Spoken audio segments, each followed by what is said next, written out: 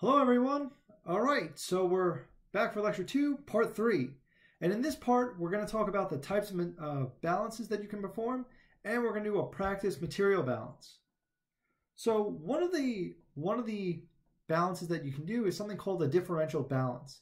Now, that one deals with rates and is often used for continuous processes, where you're looking at one point in time. So for us, in this case, I may have A and B going into my system, and I'm looking at how much A and B are coming out of the system at that same time. And in addition to a differential balance, you can also have an integral balance. Now, in an integral balance, this is going to deal with amounts and is commonly used for batch processes where you have two points in time. And it can also be used for continuous processes, also when you have two points in time.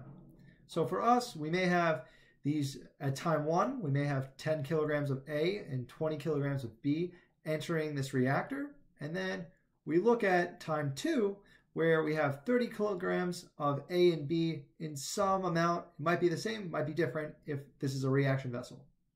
Now, something to be aware of for each unit that we're working with is that the number of independent materials is going to equal the number of components involved with the unit.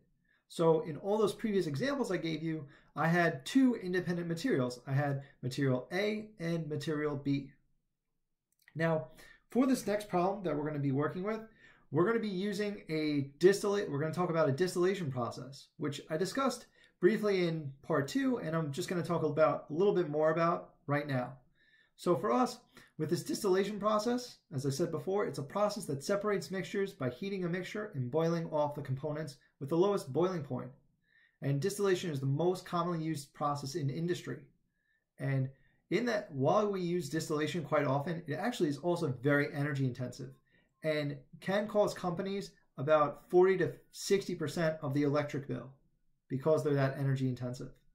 And as a quick reminder, I want to include a little diagram just to show you that, again, when you have your stream coming into the, the distillation column, you call that a feed. And then the material or the stream that's coming out the top, that would be your distillate because that's the part that you're distilling off. And then everything that's left over coming out the bottom of your column is called the bottom stream. Because of the direction, it's, it's on the bottom. And now we're going to jump into our first material balance problem. Cool! So in this case, I have a distillation tower, tower that is separating benzene and toluene.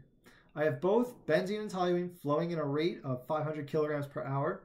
The distillate stream has a flow rate of 450 kilograms per hour of benzene, and the bottom stream has a flow rate of 475 kilograms per hour of toluene. What are the mass compositions of the two exit streams? Now, for this process, which wasn't included, but I'm going to tell you, is that it is an, it's operating at steady state. And I just um, and so for for us in this problem, this is the diagram that would be associated with this system.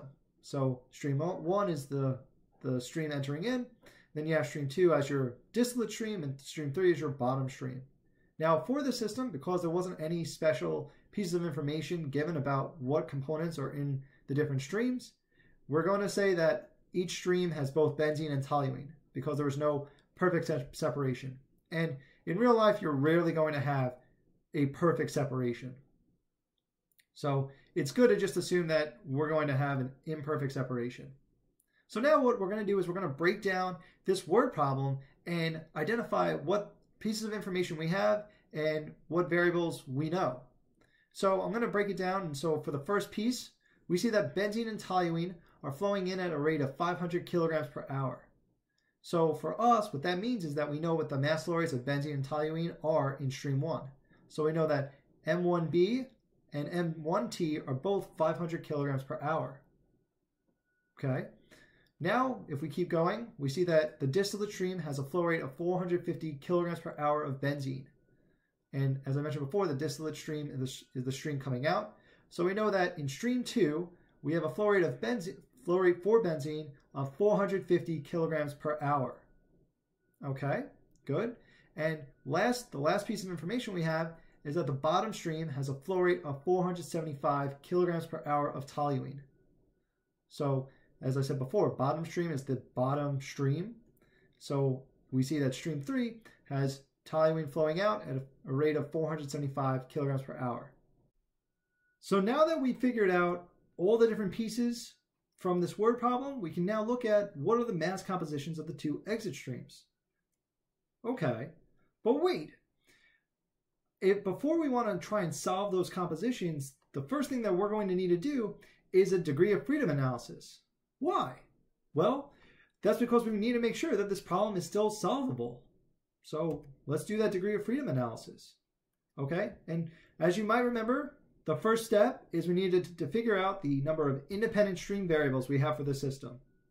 So for us, we're going to have six independent stream variables because we have benzene toluene in all three of our streams. So the next piece is how many known pieces of information do we have? Okay, and for us, we're going to have four pieces of information. We know the flow rates of benzene toluene in the inlet stream, we know the flow rate of benzene in the distillate stream, and we know the flow rate of toluene in the bottom stream. Okay, the next thing we're going to look for is how many unknowns we have. So for us, we're going to take the number of ISVs, subtract the number of knowns, and we have two unknowns. Okay, now we have two unknowns. All right, what do we do now? So for us, we're now going to try and use some pieces of information to continue to help us reduce our degrees of freedom. So for us, we can use a material balance. So we're going to have two material balances available to us. So we can do a material balance for benzene, a material balance on toluene, as well as a material a total material balance. Now, here's the deal. You can only use two different, or you can use one less than the number of material balances available to you. So for us, since we have two components, we have two independent material balances. It's kind of like the same deal where with the mass mass compositions, I can use all but one of those mass compositions because I can figure out the final mass composition. Same deal, same deal here. Here, I can figure out the final, I can do the final material balance if I had all the other information. So we're going to have two different material balances. And now if we look at our degrees of freedom, we are down to zero. So we can solve this. All right. Neato. So let's let's do it. Now we're going to focus first on the material balance for benzene.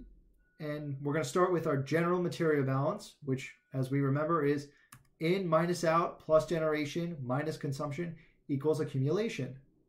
Now, before we use this equation, let's try and simplify it as best we can using the information we have from the problem.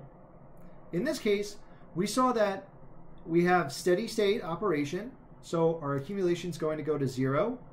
We also did not hear about any reactions going on in our distillation process.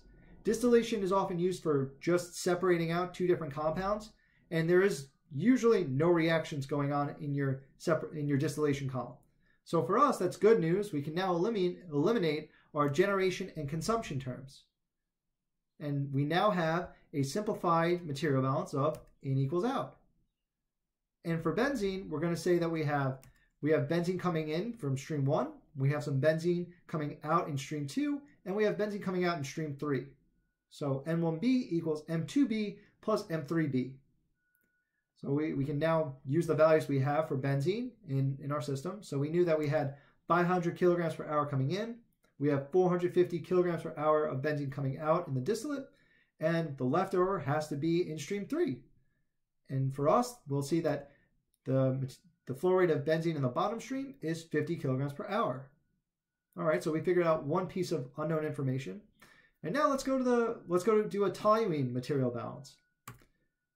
And we're gonna and again the same concepts apply to this toluene material balance. So we have this general material balance of in minus out plus generation minus consumption equals accumulation. But again, we can eliminate the generation, consumption, and accumulation terms for the same reasons we did it for benzene. And now we have a simplified material balance of in equals out. And now we're looking at toluene. So we see that we have toluene coming into our system. And that toluene is going to equal the toluene exiting in the distillate as well as the bottom stream. And for us, we had 500 kilograms per hour of toluene coming in. We don't know how much toluene is coming out in the distillate stream. And we know how much time is coming out in the bottom stream, which is 475 kilograms per hour. And now if we just rearrange everything and solve for M2T, we're going to see that we have 25 kilograms per hour of toluene in the distillate stream. But are we done yet? No! We need to get the mass compositions for streams 2 and 3. So now let's let's do that. And we're going to first start, start off with benzene and solve for the mass fraction of benzene in stream 2. And for this, we're going to take the we'll take the amount of benzene in stream 2, which is 450 kilograms per hour, and divide it by the total mass of stream 2, which would have been the benzene contribution of 450 kilograms per hour plus the toluene contribution, which in this case is 25 kilograms per hour. So we have 450 divided by 475, giving us a mass fraction of 0.947. And now we can do the same thing for stream 3 with regards to the mass fraction of toluene. And for this, again, we're going to take the amount of toluene in the, in the bottom stream. In this case, it's 475 kilograms per hour. And then divided by the total mass of stream 3. So the 475 plus 50 kilograms per hour of benzene. And now we see that the mass fraction of toluene in stream 3 is then going to be 0.905. All right. Now, before we call this case closed, what we're, what we're finally going to do is just check to make sure that all these numbers add up. And how are we going to do that? We're going to actually use our total material balance because, as I mentioned before, that total that total material balance is an added piece, but it's not really something beneficial that will reduce our degrees of freedom. It can now be just used as a check because if the material balances for benzene and toluene worked out, then the, the total material balance should also work out. And so we're going to do that. So for our total material balance, we have the mass of stream 1 should equal the masses of stream 2 and stream 3 that are leaving our system. And so for us, we had 1,000 kilograms per hour entering the system. We have 475 kilograms per hour exiting in the distillate stream and 525 kilograms per hour exiting in the bottom stream. And when we look at these numbers, we sum them up, we see that we have a 1,000 coming in and a 1,000 coming out. And for us, that's a confirmation that we have done this material balance correctly. Neato, awesome. Congratulations, you've now done your first material balance. Great job. And just to recap, we talked about the types of material balances and we got to do a practice round on a material balance. And this is going to conclude lecture two.